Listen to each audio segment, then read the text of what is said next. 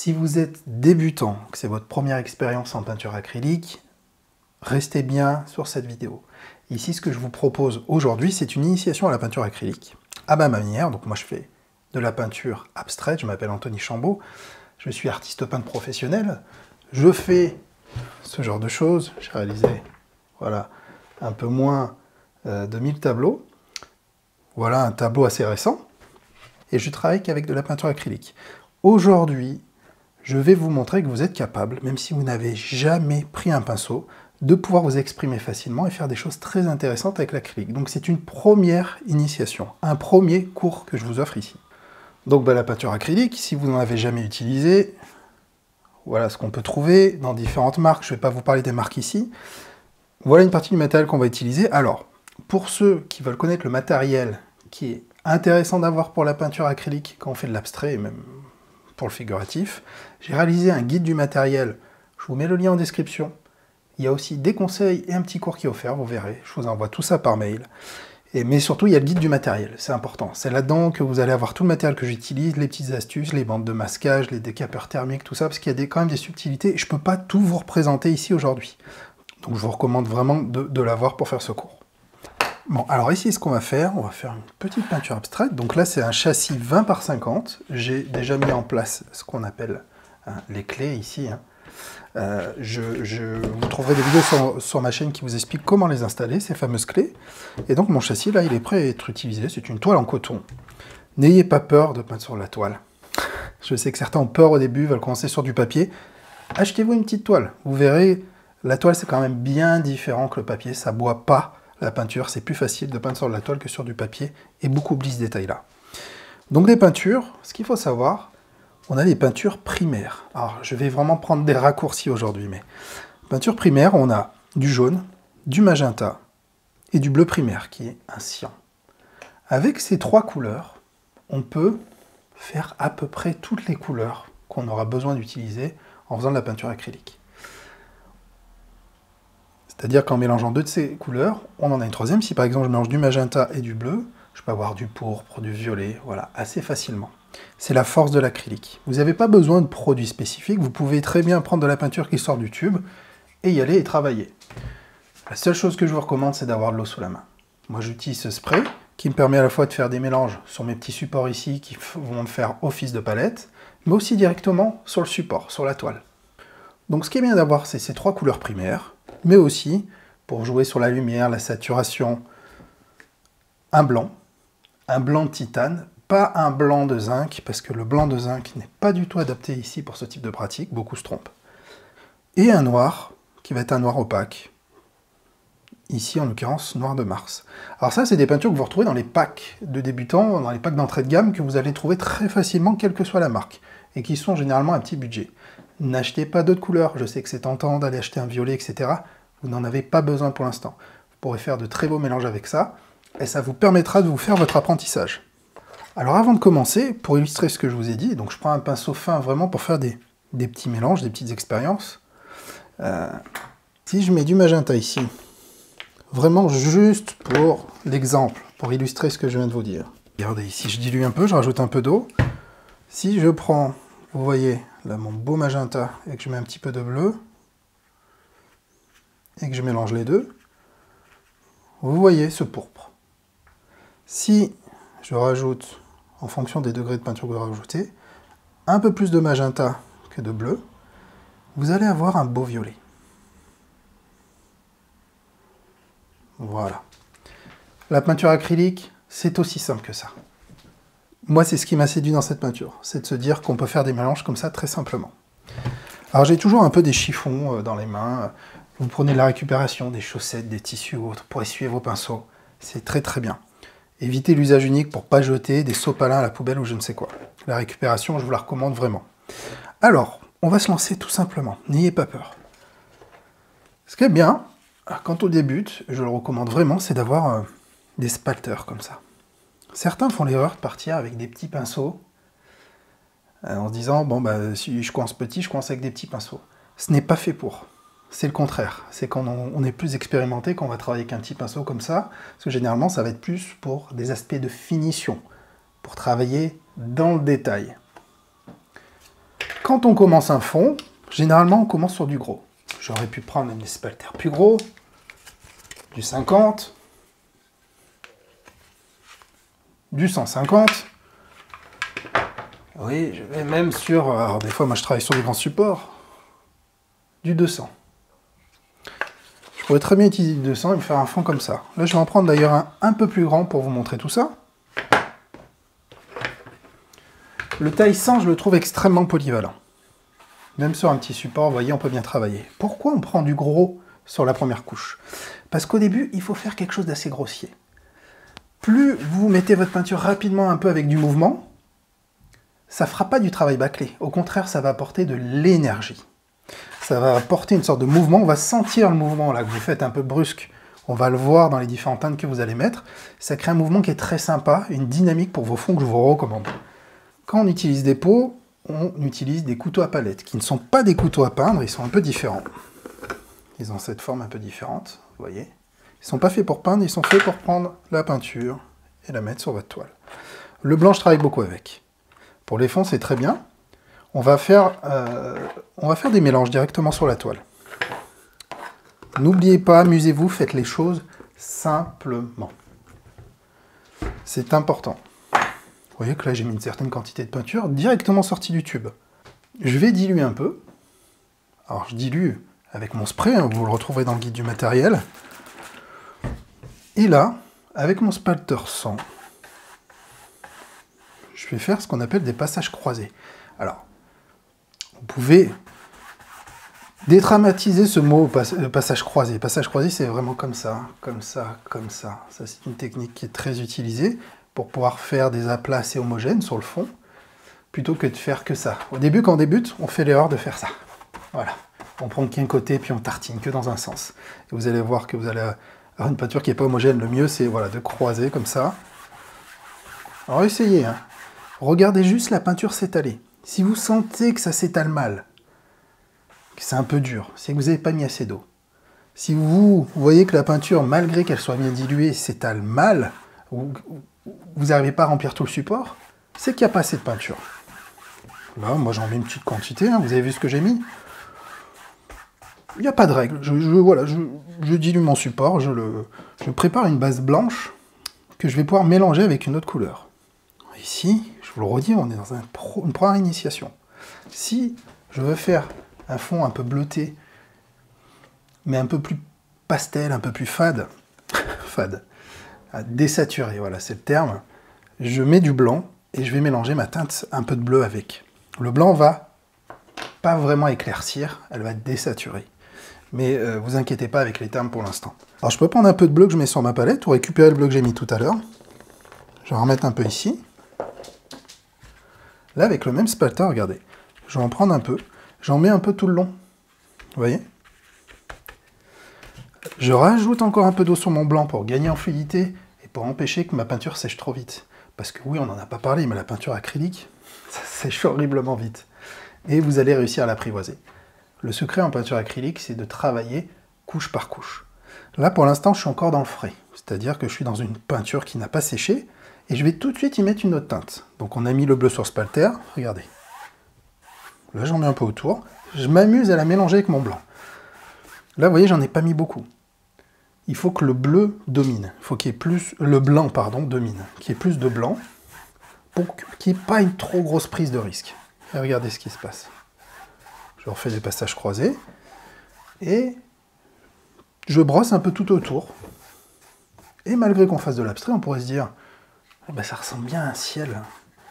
Et plus j'y vais doucement, comme ça, plus je dilue, plus je... Vous voyez, il n'y a pas de pression dans mon mouvement là. Il n'y a pas de pression, c'est très léger. C'est ce qui me permet d'avoir ce genre de fondu plutôt sympa. Alors moi, ce que j'aime bien, c'est de ne pas avoir quelque chose de trop parfait. Ces imperfections ici, on les garde souvent quand on fait de l'abstrait. Donc là, mon fond, je le garde comme ça.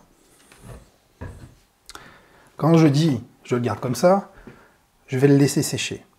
Alors, soit vous le laissez sécher, ça va assez vite, soit on peut forcer le séchage, et c'est dans mon guide du matériel, avec un décapeur thermique qu'on utilise. Le mien est réglable. Je peux mettre une température plutôt douce. Et je peux aussi choisir la ventilation.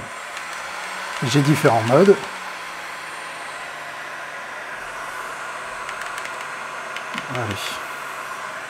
Là, je mets une ventilation plutôt douce, un air pas trop chaud, et je viens sans brutaliser ma peinture, forcer un peu le séchage. Ça me permet de gagner un temps considérable sans choquer ma peinture hein, avec une température trop chaude. Ça marche très bien, j'anticipe vos questions, avec un sèche-cheveux, bien entendu, avec un air aussi pas trop trop chaud.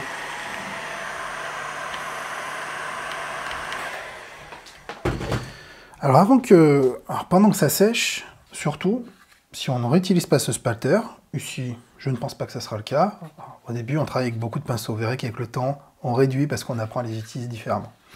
Là pour faire simple, vous mettez vite ça dans l'eau pour éviter euh, que tout sèche dans les, dans les de votre, dans les fibres de votre spalter. Donc je prends ça, j'ai un seau rempli d'eau à côté, un petit seau de récupération qui est toujours rempli d'eau euh, quand je peins, et je peux y mettre mes pinceaux, mes spalters, etc. et passer à autre chose.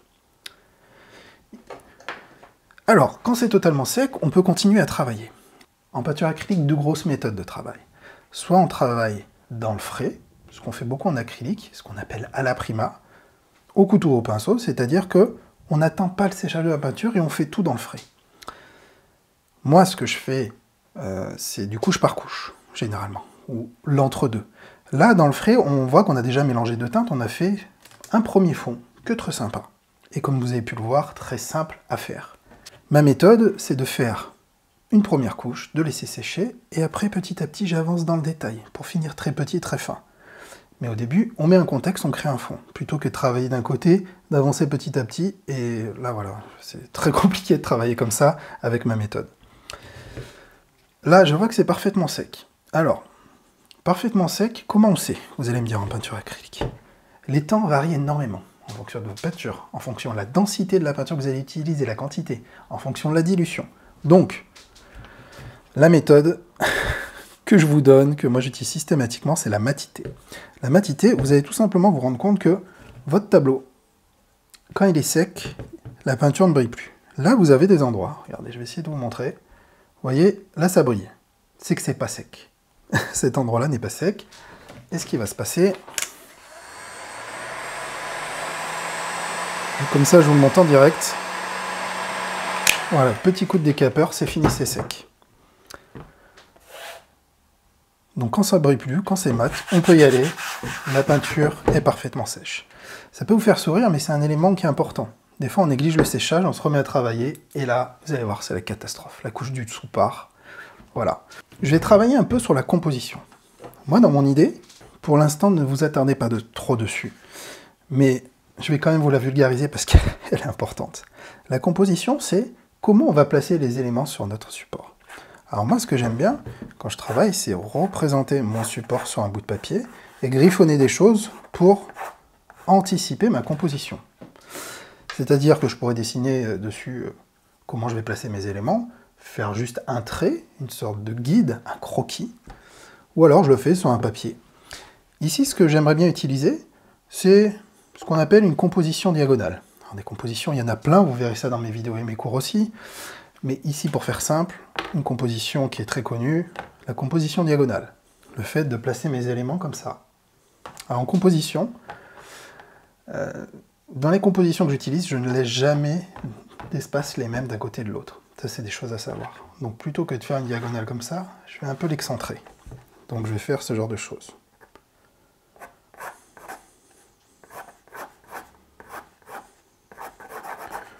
là, c'est du dessin. Hein. Vous, griffonnez, euh, vous, vous vous embêtez pas, vous vous frustrez pas. Vous allez être tout à fait capable, j'en suis convaincu. Et vous faites juste une ligne pour dire, bon, bah, voilà, mes éléments, dans la prochaine étape que je vais mettre en place, je vais composer de cette façon-là. Je vais les mettre ici, ici, ici, ici. Vous gardez ça dans un coin de votre plan de travail, et vous allez pouvoir réutiliser cette composition. Alors, Ici, qu'est-ce qu'on pourrait faire de sympa? On a notre composition. Alors si je veux la redessiner, si ça vous aide, je sais que ça en aide beaucoup. Prenez un crayon de papier ou du fusain. Le fusain, c'est ce genre de choses. Par contre, le fusain, après, il faut le figer. Donc, je vais le faire avec du crayon à papier, ça sera plus simple. Je vais essayer de reporter un peu la composition que j'ai fait ici sur mon support. C'est-à-dire ce genre de choses. Je sais que ça stresse beaucoup de gens, pensent qu'on va voir euh, le crayon à papier après la création. Vous inquiétez pas, on les verra plus. Et même si on voit quelques coups de crayon, en soi, c'est pas grave. C'est pas grave. Donc ici, voilà, j'ai travaillé sur cet aspect-là, j'ai mes deux espaces qui sont pas les mêmes, je vais venir mettre mes éléments ici. Moi, dans ma tête, je me dis, bon, qu'est-ce que je vais faire? Je vois qu'ici, on a fait les choses sympas. C'est bien aussi de se laisser guider et de, faire les choses simplement. Plus vous dédramatisez le passage à l'acte, mieux ça va se passer. Ici, tout à l'heure, je vous ai montré le violet. Je me dis, hmm, ici, le violet, il y a un truc qui pourrait être sympa. Je vois bien un fond avec un violet un peu foncé comme ça, de plus en plus clair, pour après carrément partir sur le magenta. Vous allez dire, oulala, c'est compliqué. Il n'y a rien de plus simple.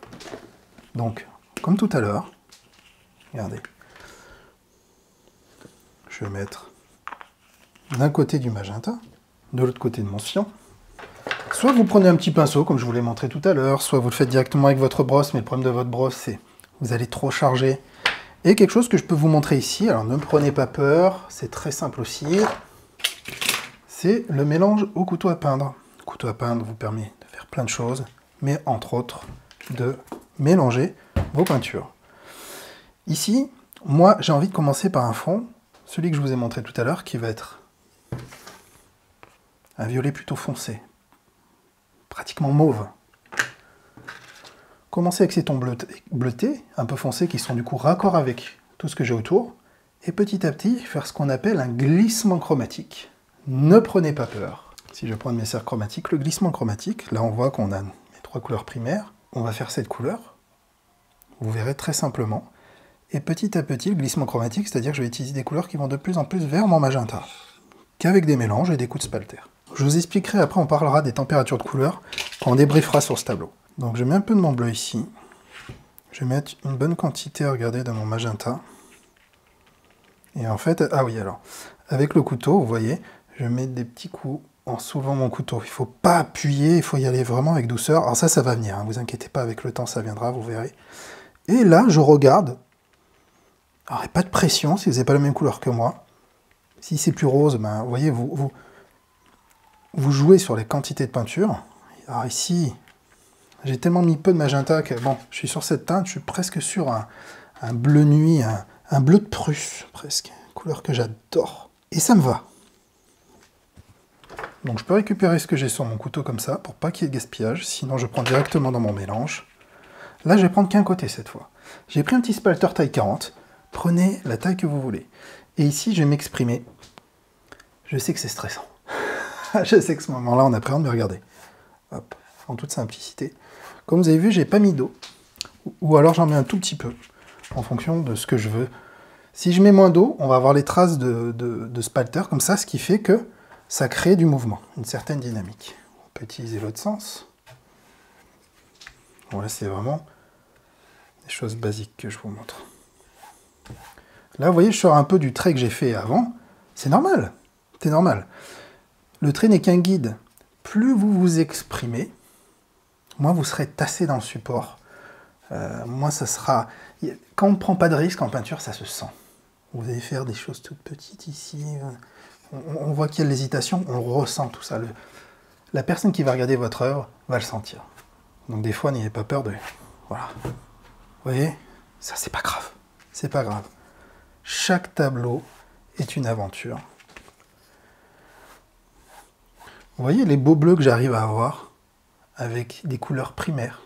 On n'est pas sur une peinture extra fine, une peinture fine, super fine. Voilà.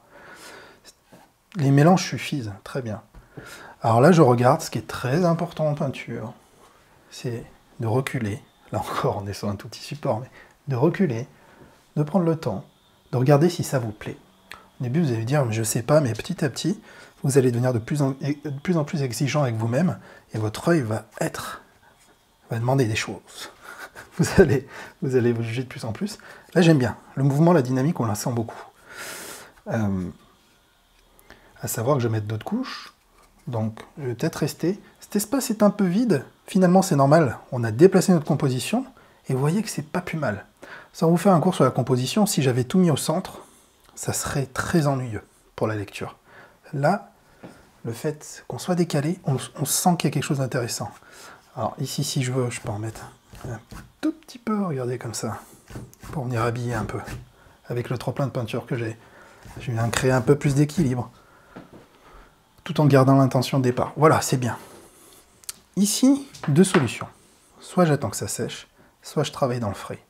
Si je travaille dans le frais, il peut se passer des choses intéressantes. La couche du dessous de cette composition va venir se mélanger un peu avec celle du dessus. Et là, c'est, je vous ai volontairement amené ici parce que avec le glissement chromatique, ça fonctionne très bien. Je vais essuyer mon couteau, c'est assez important pour voilà, euh, et je vais repartir de ce mélange-là, et je vais, je vais rapporter du magenta dedans pour avoir un violet. Enfin, je glisse chromatiquement en tout cas. Après les noms des teintes, on s'en fout, j'ai envie de vous dire. Regardez, il faut que ça vous plaise. Là, j'ai quelque chose qui se rapproche de plus en plus du magenta, j'ai mon violet. Là, j'ajoute un tout petit peu d'eau sur mon support, parce que je sens que ma peinture commence à sécher sur le support aussi, mais voilà. Si vous voyez vraiment que ça croche, que vous avez du mal à étaler, diluez un peu plus. Et là, je vais repartir dessus cette composition, un peu dans le frais, et je m'amuse. Je reviens remettre un peu de peinture. Alors ici, vous allez avoir une différence assez subtile, parce que bah, tout de suite, ça vient se mélanger avec mon fond, et c'est normal. Et ici, je veux juste quelques coups de peinture. Voilà, j'avance un peu comme ça. Alors la caméra, la différence est assez subtile. Ce qu'on va faire, on va partir directement sur, du, mon magenta, qui est ici. Alors là, je suis pas forcément mon spalter, je reprends du magenta ici. Et je, fais la même expérience, comme ça. Vous voyez, je reste toujours dans ce sens. Pour un premier exercice, c'est un moyen de faire les choses plus simplement.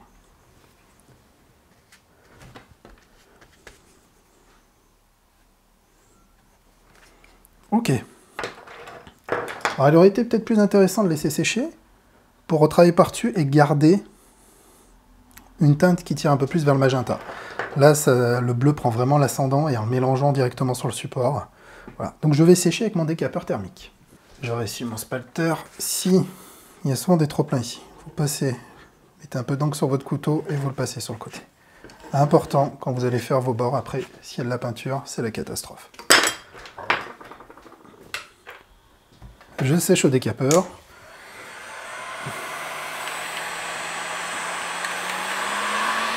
Alors voilà, ici, mon fond séché. Alors, c'est un classique, je vous en ai pas parlé, mais toujours anticiper, sachez que vos couleurs vont foncer en séchant. Ça dépend de la qualité de votre peinture, mais d'une manière générale, l'acrylique, ça va toujours foncer un peu. Et ça dépend aussi des teintes que vous utilisez. Ici, maintenant, je vais travailler directement en magenta en surface, toujours au spalter, soit vous en prenez un autre. Alors l'idéal, euh, c'est de mettre celui-là dans l'eau, ou sinon de le nettoyer. Vous mettez de l'eau dessus, vous le rincez bien à l'eau et vous le reprenez, ou vous en utilisez un autre. Donc si je décide d'en prendre un autre, par exemple pour l'expérience, j'en ai pris un légèrement plus grand, je mets, je remets mon magenta sur un, sur de mes supports hein, de récupération, c'est du papier cartonné, J'humidifie un peu pour faciliter la charge de la peinture sur mon spalter. J'en prends une, assez bonne quantité. Et puis là, je vais revenir faire ce qu'on a fait tout à l'heure, mais voilà, avec du magenta ici. Je peux, on peut travailler de différentes façons. Si on veut travailler avec le bord, vous pouvez travailler comme ça, latéralement, regardez.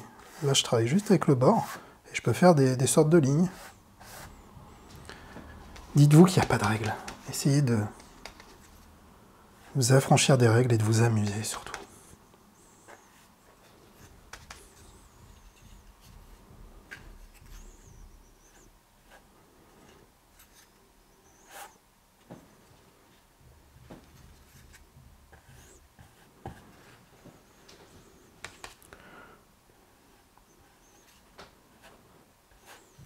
Vous voilà.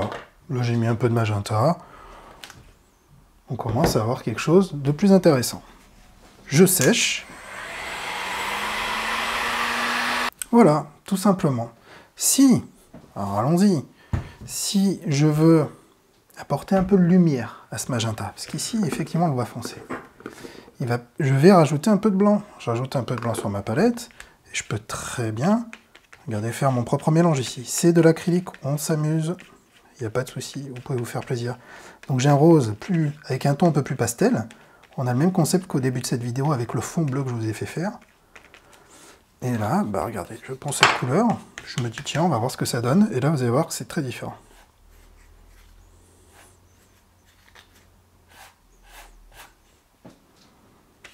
Donc on est vraiment sur une première initiation. Vous voyez, j'y vais tout doucement. Allez, on a dit que c'était une première initiation. Vous voyez, bon, je m'amuse. Je mets la couleur là où j'ai envie, je suis ma composition. Laissez-vous guider, c'est important. Faites les choses intuitivement au début. J'enlève mon petit trop-plein ici de peinture, j'essuie mon couteau, et voilà. Ici, il y aura encore beaucoup à faire, mais le but c'est de rester sur quelque chose de simple. Mais vous pouvez vous arrêter là, où je peux vous montrer encore différentes choses. Ici, je pourrais rééquilibrer un peu, refaire des glacis, ce qu'on appelle des glacis, avec un bleu que je ferai assez léger ou une quantité de peinture très légère, pour venir un peu recharger de bleu ici, puis un peu créer un peu plus de profondeur. Je peux vous montrer ça, mais alors attention, attention, ça paraît simple au début, et beaucoup le savent, hein. c'est beaucoup plus complexe qu'il n'y paraît. Je prends un pinceau de maquillage. Ici, je vais reprendre de mon bleu tout à l'heure, il m'en reste. Je vais y rajouter un tout petit peu de blanc. Pour avoir un bleu qui n'est quand même pas trop puissant. Avec ce bleu. Là, je dilue beaucoup. Les glacis, c'est très dilué. Je dilue aussi mon support. Et je vais venir de cette façon-là faire ce que j'appelle un vignettage. C'est qu'avec des couches très fines, je vais charger de bleu ça, je vous le redis au début, c'est compliqué. C'est compliqué de trouver le juste équilibre et d'avoir surtout un beau fondu. Il y a plein de façons de le faire, mais là, je juge que là, c'est trop lumineux. Donc en fait, je viens équilibrer. C'est mieux. L'avantage de ça, c'est que vous pouvez le faire sur beaucoup de couches. Soit vous pouvez tapoter, tourner, toujours en douceur.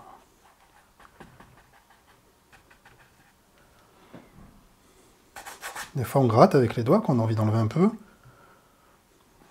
Là je vois que mon fondu n'est pas parfait. C'est mieux. J'aime bien ces petites zones de lumière ici que je vais laisser pour pas avoir quelque chose de trop trop linéaire. Alors généralement ce qu'on fait c'est que les glacis comme ça on en fait plein plein sur une multitude de couches. Donc on travaille un endroit, puis un autre, puis un autre. Pendant ce temps-là, ça sèche et après on continue. Un glacis, ça se fait normalement sur plusieurs couches. Alors ici, je vais essayer d'aller un peu rapidement. Ici, on voit de la lumière, ça devient intéressant. Ça commence à apparaître grâce à cette étape-là. Je peux mettre un peu d'eau et faire des petits effets texturés comme ça en prélevant l'eau aussi. Oui, je sèche un peu, puis je continue avec euh, cette fois une peinture. Ben là, on est sur du cyan-cyan. Hein. Un peu plus foncé. De cette façon-là, regardez. Ça me permet de continuer toujours dans le même état d'esprit, d'assombrir un peu mes fonds.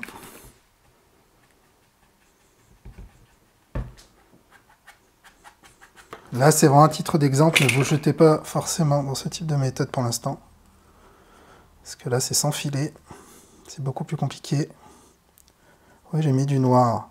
J'assombris mon bleu.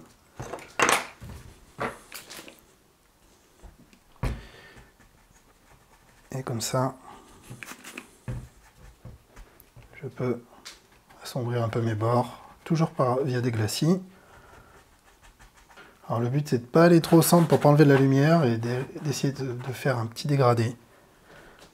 Pas toujours évident, mais vous voyez, ça fait la différence. Il y a des petits effets qui naissent, qui voient jour parce que je vais un peu vite et que j'ai pas assez séché. Voilà.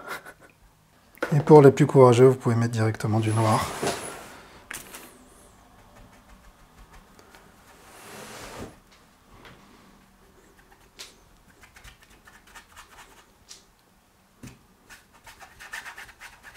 Là, c'est beaucoup plus dur. Mais effet de profondeur garanti. Là, je crée du coup une nouvelle zone qui va amener beaucoup de profondeur. J'essaie de garder les propriétés de mon bleu. Et voilà, ça ira très bien comme ça.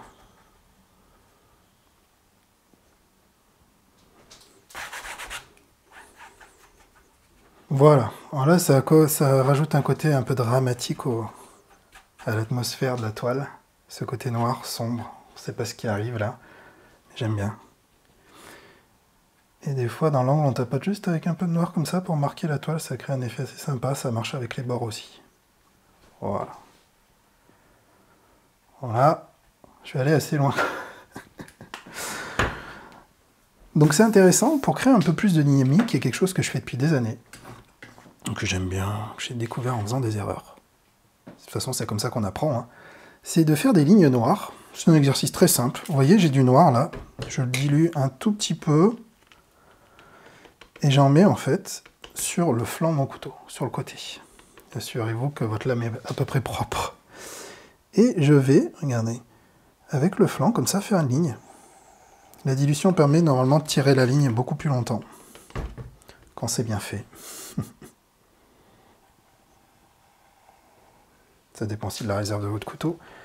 vous voyez là, ça crée de la structure. C'est plus sharp. Sharp, comment dire?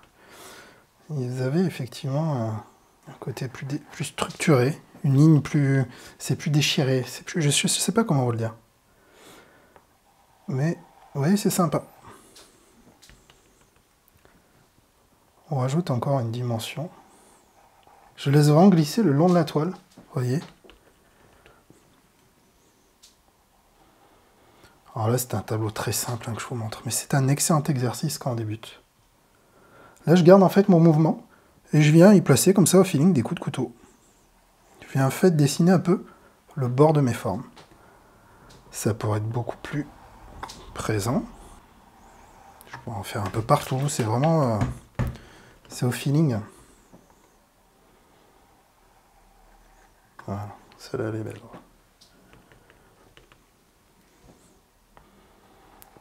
Mais de, mon expérience, je sais qu'il est intéressant de garder ce mouvement.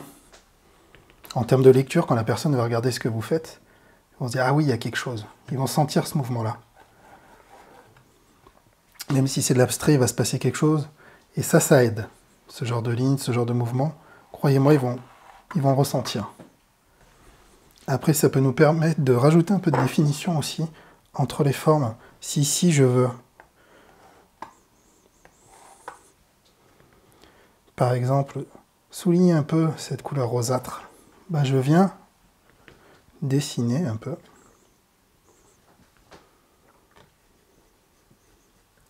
je peux très bien, voilà, faire une ligne qui change de sens, un peu pour souligner un endroit que j'ai envie, sur lequel j'ai envie d'apporter de l'importance, de créer ce qu'on appelle le point focal, d'attirer l'attention. Mais ça, on en parlera dans une autre vidéo.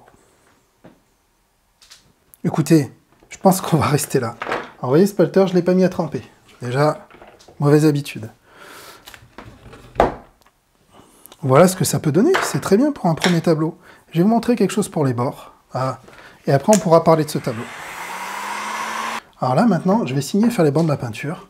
Beaucoup connaissent déjà ma méthode pour travailler, donc je vais aller très vite. Je prends un feutre acrylique. J'aime bien cela, les graduates. Vous trouverez tout ça dans mon guide du matériel, hein, une fois de plus. Je prends quelque chose pour surélever ma main et je vais signer dans le sens de la composition. Je vais souvent expliquer pourquoi. Ici, ça me paraît un bon espace. Hop, dans le sens de ma composition, je garde le rythme, je garde le mouvement, et j'occupe un peu l'espace de façon originale. Voilà pour la signature. Maintenant, je vais faire les bords. Les bords, dans mon guide du matériel aussi, un manchon très simple, mon rouleau, rien de mieux. J'ai fait un peu moins de 1000, en 10 ans avec un peu moins de 1000 tableaux, je reste sur cette méthode qui est très efficace. Je peins un peu de noir sur mon rouleau. Et je vais venir peindre mes bords en noir. Ça a son importance. Ça a son importance. Et ici, tout simplement, voilà. J'explique ça mieux dans mes formations. Hein. Hop. Rouleau sur plusieurs couches. Il y a des petits pièges dans lesquels il ne faut pas tomber. Mais soyez fiers de ce que vous avez fait. Signez, peignez les bords. Vous allez voir que ça rajoute quelque chose. Quand des fois on un D6, cette étape-là va changer beaucoup de choses. Voilà, regardez mes bords. J'ai fait mes bords. Alors pourquoi je fais les bords? Regardez, je pense que ça parle. Une image vaut mille mots. Regardez ça. Ça va à la fois contextualiser votre œuvre, ça va tout mettre en évidence. Ça crée un équilibre qui est super intéressant. On ne laisse pas des bords blancs, c'est dommage. Et là, vous voyez, le résultat est d'autant plus intéressant maintenant que les bords sont faits. Alors, ici, on a encore des couleurs très mates, et il faudra un vernis. Je ne vais pas aller plus loin dans cette vidéo, j'en ai souvent parlé, mais euh, voilà, le vernis viendrait souligner tout ça. Et viendrait révéler certaines teintes qu'on a ici, et enlever toute la matité, protéger l'œuvre avec un beau vernis brillant, c'est ce que je vous recommande de faire.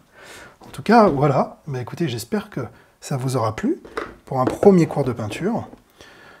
Ne vous frustrez pas, amusez-vous, et c'est comme ça que vous allez avancer. Vous serez fiers de vous, et vous, si vous vous frustrez, vous risquez d'abandonner. J'en connais trop qui commencent mes cours et qui arrêtent assez vite parce qu'ils ne se sentent pas capables, alors que finalement, tout le monde est capable, vraiment. Avec un peu de méthode et surtout de patience et de pratique, vous arriverez à faire tout ce que vous voulez. Alors ce cours a été offert, la seule chose que je peux vous, demander, c'est de cliquer sur j'aime et de vous abonner à cette chaîne. Donc voilà, il suffit de vous abonner, de cliquer sur, j'aime et puis de mettre un petit commentaire en dessous de cette vidéo euh, pour savoir euh, comment vous avez vécu cette expérience, si ça vous plaît et si vous en voulez d'autres, bien entendu. En tout cas, si vous suivez étape par étape, vous serez, clairement capable, même en tant que débutant, d'arriver à faire ce genre de choses. Après, vous pouvez décliner sur des grands formats, des petits formats, etc. Voilà. En tout cas, merci beaucoup d'avoir regardé cette vidéo. Et merci pour votre soutien. Et moi, je vous dis à très bientôt pour une autre vidéo.